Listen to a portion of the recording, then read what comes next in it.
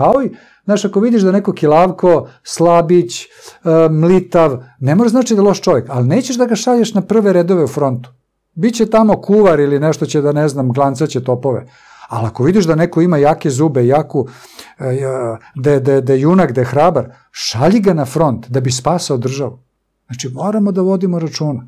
Znači, ne može, ne, ne, ne postoje stereotipa.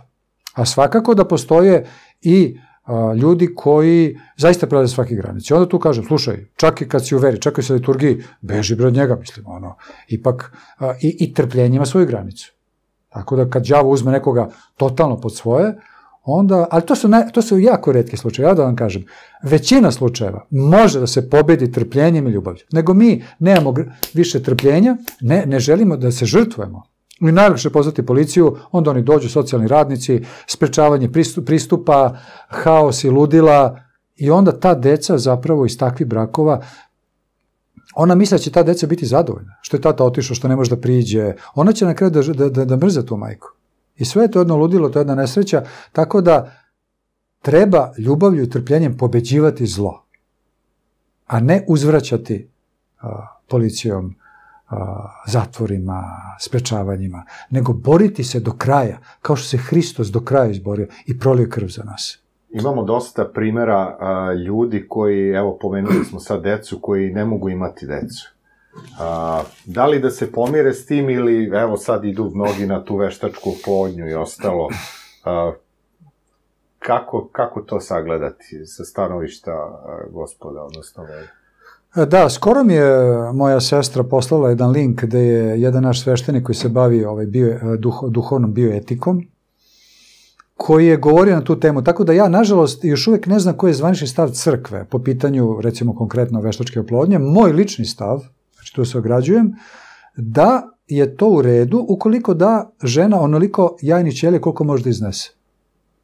E sada, obično lekari uzmu po 3, 5, 10, nemam pojma, pa izabiraju najbolje. E, to je onda već rizik da dođe do oplodnje, ali da ona ne bude iskorišćena, jer oplođena jajna ćelija, to je već zigot. To je već gotovo živ čovek. I duša je već rođena. I duša se ne razvija. Duša je savršena u startu. Ona je samo tabula raza. Pa ne zna ništa. Ona vremenom uči, ali ona je savršena. Znači, nema tu neko usavršavanje, pa je to neka primitivna duša, pa će ona, ne znam, u trećem ili šestom mesecu ili da postaje... Ne, ona je savršena odmah, jer Bog što je stvorio, to je savršeno. Međutim, a, znači, to je rođeni čovjek. Ako se to ne iskoristi, ili ne da Bože se to uništi, e to je kao abortus, to je ubistvo. Tako da ja kažem ženi, ona kaže, oče, šta da radimo, eto, ne možemo prirodnim putem, da li možemo veštački? Ja kažem, može, ali daj onoliko jajni ćelije koliko možda izneseš. Jel možeš da rodiš trojke? Pa ne znam, oče. Nema problema, onda daj dva jajne ćelije. Jel možeš blizance? Pa to bi mogla. Ok, možda se neće obe oploditi. Možda će se, možda će se sve tri obe, možda će oploditi dve ili jedna, ali ti budi spremna, ako su oplođene sve tri, jesi spremna na četvorke, daj četiri redko ko je na to spreman. Ali ako nisi spremna, nemoj da daješ više, jer to je onda već ubistvo. A onoliko koliko, smo dali, koliko ja znam, zaista imam dosta već slučajeva, čak i sveštenih lica, koji su tako radili. Popadija je, žena je dala jednu, dve, tri ćelije, one su se oplodile. Evo baš tu pre neki dan mi je bila žena, tri sinčića ima, slatki su komed. Ja nešto ne znam šta mi bi pitao, jesu, jesu, jesu prirodnim putem? Nisu, kaže oče.